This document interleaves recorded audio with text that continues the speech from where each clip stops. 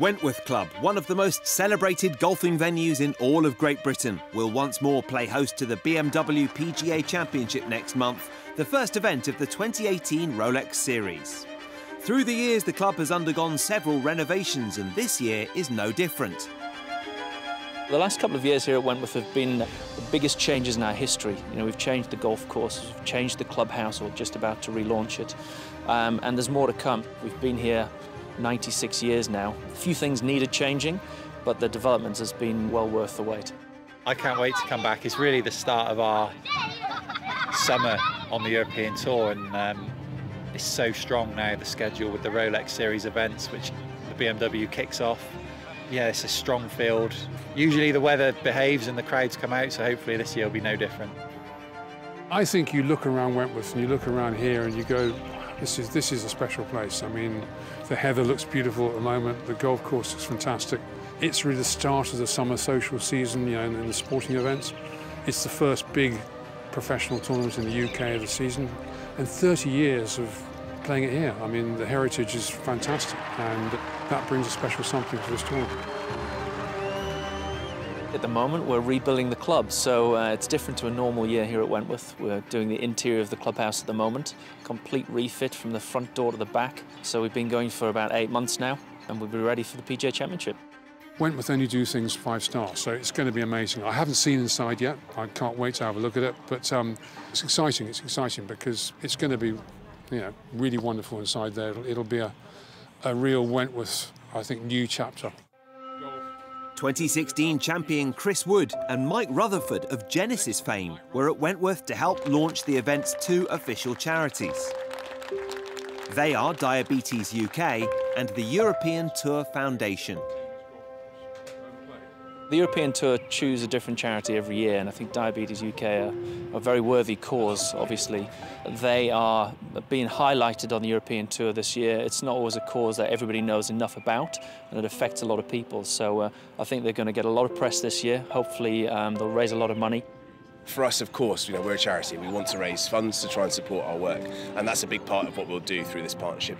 But you know, we're an organisation of 300 or so people spread across the UK, there's 4 million people living with diabetes, 12 million people at risk of it. Know, we, we can't possibly get our message out there on our own. We need to work with partners to do that. I mean, the profile that this will give the charity is so valuable to us, and it'll really help us, as I say, raise awareness and help more people. We're here for um, launching the charity for the BMW PGA Diabetes UK along with the European Tour Foundation. As you can see, loads of kids behind playing golf. The charity side has become a massive part of the tournament now. So to come here for the day and spend a bit of time with them and you know, promote the charity is, from a player's point of view, is the least we can do. What a privilege to meet Chris in the flesh. I mean, uh, it's, it's fantastic, and he seems to be getting really into it. He's come all the way from Bristol just for this, so we feel very honoured actually to have him here. Um, and again, it's, it's really important, I think, for the children to see someone in his position as a role model, actually, that they can aspire to be like in the future. Um, I'm sure lots of them will be going home from today with, with many a story to, to, to and, and many a memory actually that will draw on, I'm sure, in the future. It's a chance to bring, well, first of all, awareness throughout the whole week. You know, interviews, chat, bit of press. And during the week, there'll be, there'll be various things uh, involved, raising money for the, for the charity. What's also special is seeing this event here, is seeing kids and sport. Because diabetes, is the treatment of it, the more activity you do, the more sport you do, the better for your sugar level. So in a sense, sport is a great, great marriage for diabetes. Chris and Mike have brought, you know, they've brought some glamour to the occasion. Chris is obviously a Ryder Cup player, and he's a really nice guy, and he's had a great time with the children. And Mike's just a legend. I mean, you know, from my, my era, Genesis were one of my, my favourite bands of all time when I was growing up. So, you know, I look at him and go, well, he's, he's had a life, and obviously an ambassador for Diabetes UK. It's nice to see 20 or 30 kids running around the putting green here at Wentworth. I've seen it over the years, the last 10 or 12 years, and seeing them come back years later saying, this is where I started my golfing career or my golfing life. It's really nice to, to hear that later on in life. I think it's the best tournament in the world.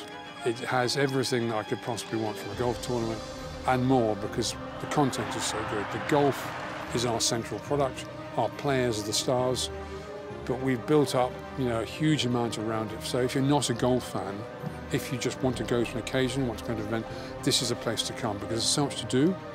Uh, the village, you could spend the whole day there. You can still watch golf on the big screen, but you can spend the whole day doing things. You could have You can have putting lessons, you could have golf lessons, you can go and sample all of the atmosphere of the village, great shopping, great food and drink.